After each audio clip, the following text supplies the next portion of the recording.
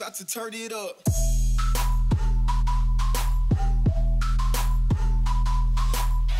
Uh. We about to turn it up.